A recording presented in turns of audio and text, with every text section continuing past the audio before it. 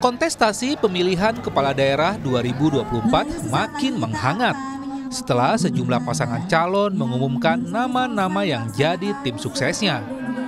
Tak hanya diisi para politisi, nama-nama tenar dari beragam latar belakang seperti artis turut menghiasi komposisi tim sukses.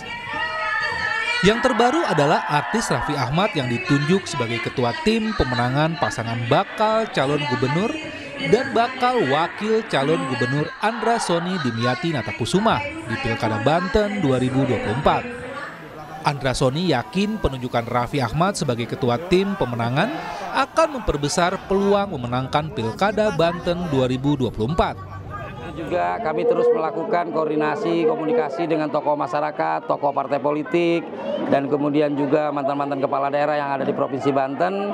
Dan dalam diskusi-diskusi tersebut, salah satunya ada sebuah uh, usulan dan saran untuk menjadikan saudara Raffi Ahmad sebagai ketua tim pemenangan pilkada pemilihan gubernur di Provinsi Banten.